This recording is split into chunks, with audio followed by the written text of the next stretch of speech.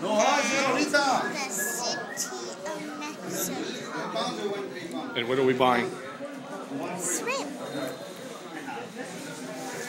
And what else have you bought down here? This. What is that? A sweater thingy. A what? A sweater thingy. Can you say poncho? Poncho. Poncho.